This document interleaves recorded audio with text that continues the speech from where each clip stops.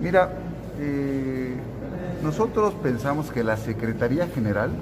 debe ser considerada un órgano técnico del Congreso,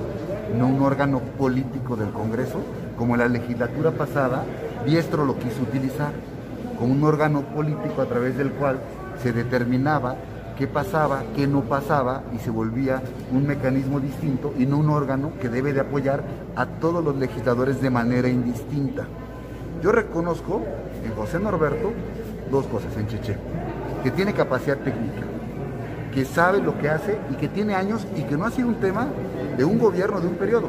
Él viene trabajando en el Congreso desde la época de la última parte del sexenio del bartismo, luego la época de Melquiades, de Marín, de Moreno Valle, de Gali, ¿no? Entonces, él no tiene filias y fobias, es una persona técnica en este trabajo. Razón por la cual nosotros estamos a favor de que personas técnicas pasen. Más bien, vergüenza le deberá dar a Diestro salir a decir eso, porque cuántas controversias constitucionales perdimos en este Congreso porque no se hizo el trabajo técnico, porque se hizo el trabajo con el hígado. Lamentable, sí, hubo un supuesto señalamiento de un proceso que no prosperó, ¿sí? y razón por la cual hoy no es una decisión política, es una decisión de poner a las personas calificadas en el lugar. Qué lástima que una persona que ya no esté en el Congreso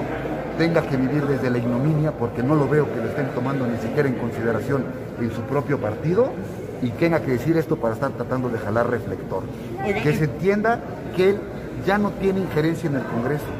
y que si él dejó gente sembrada,